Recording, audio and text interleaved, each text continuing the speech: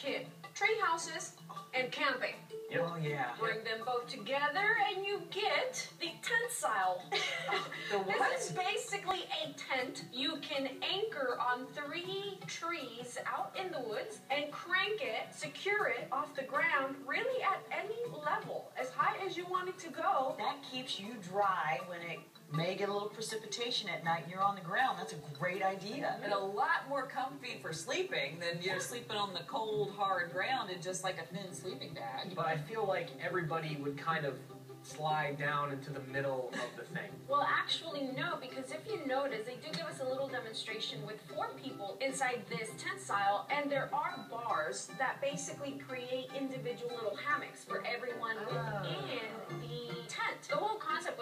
by treehouse architect Alex Shirley Smith, and he does talk about how he came up with the idea. I knew there was something where you could create uh, usable space out of pure tension.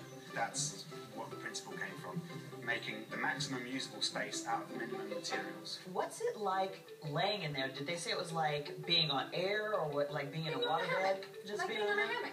Yeah, I also probably think it's kind of like laying on a trampoline too. Yeah, funny you should mention that because they do throw a bunch of kids in there, and uh, yeah, they do see an opportunity for a trampoline. They look like UFOs. Wouldn't that be cool to like come across that? It doesn't have to be custom made.